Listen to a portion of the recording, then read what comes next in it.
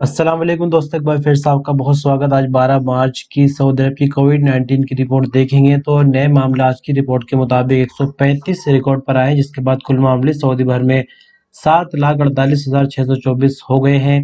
317 आज नई recovery record पर आने के बाद कुल रिकवरी सात लाख तीस हज़ार तीन सौ पचपन और एक नई मौत हुई है आज, जिसके बाद नौ हज़ार सत्रह कुल मौत अभी तक हो चुकी है। वहीं एक्टिव मामलों की अगर हम बात करें तो सऊदी भर में नौ हज़ार दो सौ बावन एक्टिव मामले हैं, जिनमें से तीन सौ तेरह क्रिटिकल केस है, जो कि हालत नाजुक की वजह से आईसीयू में है। चलिए अब बात करते हैं कि सऊदी अरब में नए मामले किन किन खास शहरों से सामने आए हैं। तो रियाज से 40 नए मामले रिकॉर्ड पर आए हैं। इसके बाद जद्दा से 21 मदीना मुनवरा से 9 मक्का मुकर्रमा से 8 दम्माम से 6 अबहा से 5 हफूफ से 6 और ताइफ से पाँच नए मामले रिकॉर्ड पर आए हैं। इसी के साथ साथ आपको बताएँगे कि नई रिकवरी जो ज़्यादा आई है, वो किन किन शहरों से आई है?